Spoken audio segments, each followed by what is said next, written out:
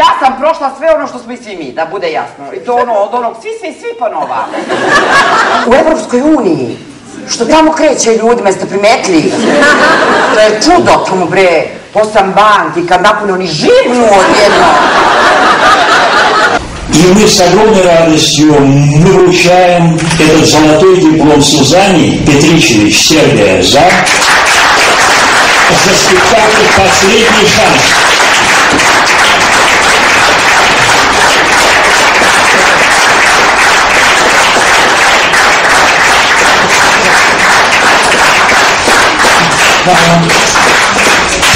Jer nikak ne ljubije osim tebe duša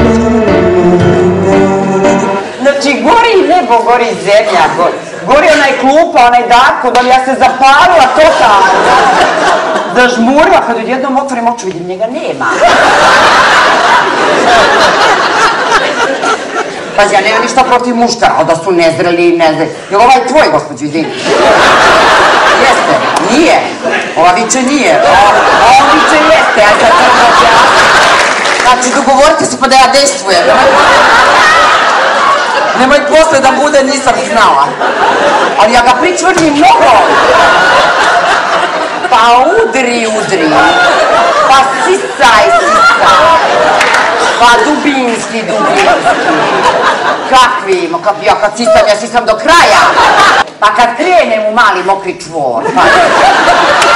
Znači tamo odem da se dokrajčim. To, to je, kakvi. Pa se bacim na one pločice, pa dole gore, pa Pa fugujem se, fugujem se. Samo desno,